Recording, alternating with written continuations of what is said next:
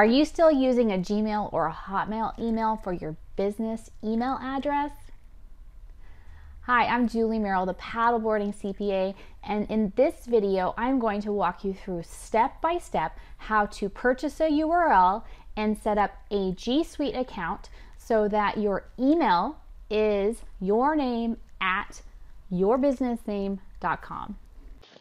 Okay, before you can get started in setting up a work email at your own domain, you need to first purchase your domain. If you already own your domain and know what I'm talking about, you can skip forward to step number two. In the meantime, I'm going to show you how to buy a domain on Namecheap. And I use Namecheap. There are other providers. Uh, I do have a referral code for it, and I will type that in now. It's the paddleboardingcpa.com forward slash Namecheap. All right, so if you already have an account, you can just log in. Otherwise, sign up and create an account. This is not a host. This is just the place where you buy your URL. And if you can see, I oh, it's only showing a couple, but I have a ton. So we're going to go to domain name search. And this is where you type in your ideas. So if you're typing in, say this is going to be what you are looking for. This is probably already taken. We'll see. Okay, it's not. Coffee for Santa is not taken. So you could buy coffeeforsanta.com. It could be your email address, where you could be Sarah at coffeeforsanta.com, info at coffeeforsanta.com, where you had your website be that all you would do is then select add to cart. And one of the things that you need to have set up in Namecheap before you um, pay for this is you want to make sure you go into your profile. Let's see if I can show you. If I go into my profile,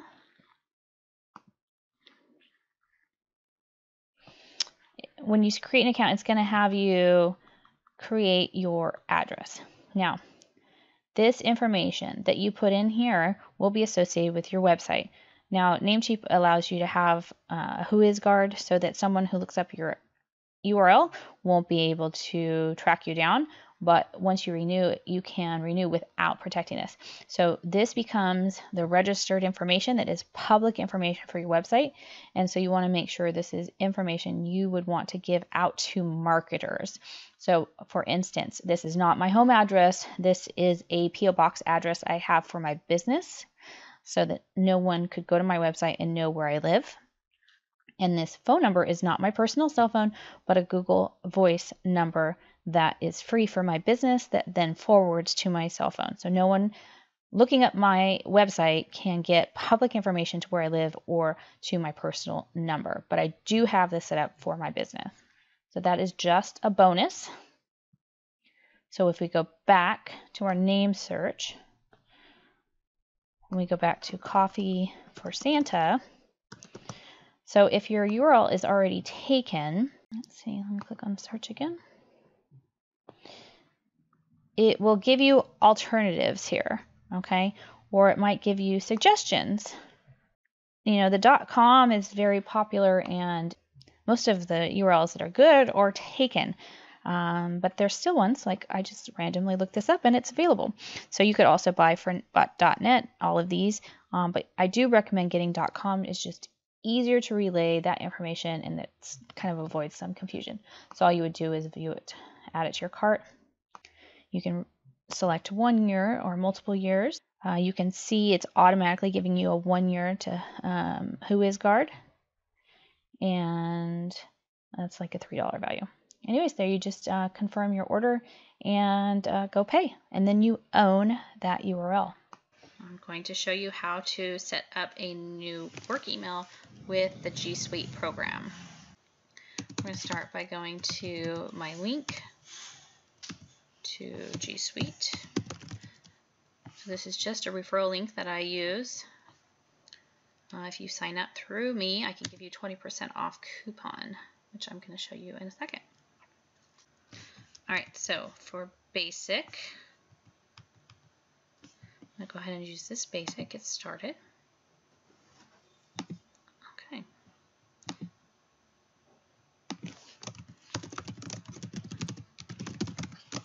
I'm the Paddleboarding CPA. It's just going to be for me. I'm going to follow through the questions and hit next. What is my current email address? Current email address. This is my personal one. Yes, I have a domain, paddleboardingcpa.com. All right, so we're doing it. There's my domain. It gives you an example where you don't have to hit www. You just type it in just like the example and hit next. So it's just telling me it won't work. I'm going to type in my information. Basically, it has a pretty good guide. So I'm typing in what my main email is going to be. I'm going to call it julie at paddleboardingcpa.com. Now there's going to be a way later on that I will show you how you can add aliases. So you can add info at your domain.com. You can add admin, support, and have those all redirect to your main account. Now if you want them all to be separate inboxes, then you would have selected the business option in the beginning.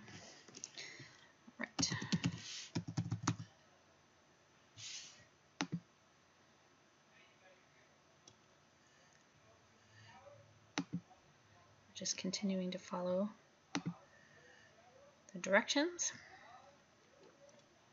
Once we walk through all of these steps in G Suite to set up the new account, the only thing that we have still to do is to set it up on our domain and it will give us actual instructions here. So it's going to tell us to add people.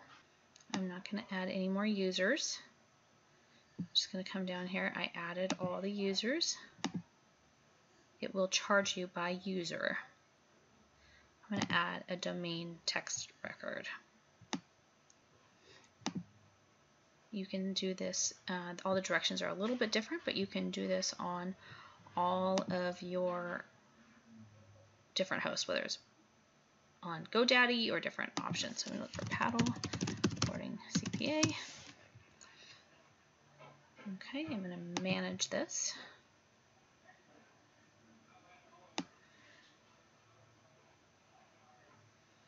And this right now is going to go into advanced DNS.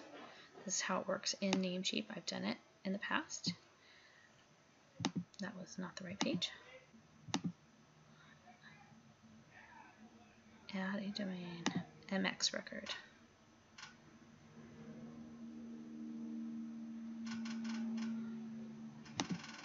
Okay, this goes to the control panel. I've done that already. So it's having me set up the mail records for my domain. So we're going to have to do all of these steps. I'm in Namecheap. I'm in my advanced DNS for my domain that I'm managing. I'm going to scroll down to my mail settings. Right now I have it on email forwarding. We're going to do a custom MX. All right, and so now if we go back to the instructions, all of these records will be set up. So we're going to do we're going to copy that one. It's going to be priority 15 at. So let's go back to here. It's going to be at the value we're going to paste in. It's going to be 15. And we're going to save changes. Now we're going to add another record. And this one is going to be this priority one at. So we're going to do at, paste it, priority one. And we're going to click in Namecheap, you just click this to save it. Now we're going to do another one. What was the, this one? Just copy it. And that is a priority 5 at. Paste. And it was a priority 5. Save it. Add new record.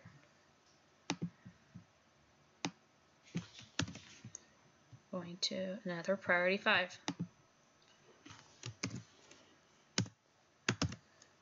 You can see that it's, even though there's the same priority, they are two separate entries. Next, we have a prior, two priority 10. So let's copy this first one, paste, save, add a second record. That's priority 10, the last one, I believe.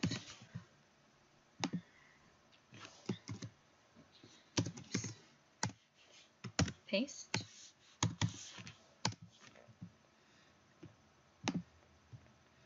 All right, so we've entered in all the records that it requested. We have 15, 1, 5, 5, 10, 10. Let's just go back and double check. So we have 15, 1, 5, 5, and 10, 10. I have deleted existing MX records. Yes, I don't have any other ones. So if you had other MX records in here, those you would want to delete because you need to not have any confusing signals going on where your mail is going. So I don't need to delete any of those. I've saved it. And now it should let me verify. Sometimes this takes time. So if I saved it in Namecheap, it might take half an hour or an hour. I've had it take up to a day for those records to be identified by G Suite and so I might have to come back into G Suite and verify this tomorrow if it isn't able to access that information I just saved on Namecheap because it can take some time. Now, if anytime I need to go into manage this domain, I don't do it through gmail.com. I do it through admin.google.com and then it would be just forward slash the URL. So for me, if I wanted to manage this email, I would go to admin.google.com forward slash paddleboardingcpa.com. Okay, so this is what happened. I, I kind of expected this to happen because it's too soon. So I will have to come back and log in again likely in a couple hours or tomorrow to give the system and the servers time to update the new MX records. All right, fast forward uh, the next day. I just went back into my browser, typed in admin.google.com forward slash paddleboardingcpa.com. It made me go through and check off all the steps again. And now, after four minutes, it is saying that my domain is set up and ready to go. So I just hit next. So now it's going to tell you to pick a plan. If you just have one user in your business, uh, the $5 a month is plenty. Uh, you can also upgrade for the $10 a month. I have a 20% off coupon. They're just unique coupons, so you have to send me a message and I can send you one. For now, though, when I send up, I am on the free trial for 14 days. All right, we are now in the um, admin console. So if we go into users, now this is not going to gmail.com and signing in, which is how you will get your email. This actually took us into the admin console. So admin.google.com. Again, same place that we set up the domain. You can go into your users. I'm going to click on this user, which is me. And I'm going to scroll down. Let's see if I can remember. Oh, I think we need to go here, account. Yes. All right. So if you are creating a email for like a website, so this is a website email, that I use for my podcast. And I want to have basic aliases forward to that mail. So I'm going to set them up now. So I go down here into the account section under that user, and I'm going to click add an alias. An alias is a an active email address, but not an inbox. So any email sent to this address will be forwarded to my main inbox. You don't have to monitor multiple inboxes. You just can use multiple aliases. So I'm going to set up the basic ones. So we're going to set up info. We're going to set up support. And we're going to set up admin. I'm going also going to add hello. Sometimes I use that for sending out emails. And you can keep going on. Now these again are not their own inboxes, but anything sent now to info at paddleboarding CPA will go into the main inbox. So now, let's open new browser. To get to your new email, you're just going to type in gmail.com. All right, here we go. My new one. So now I'm in my inbox.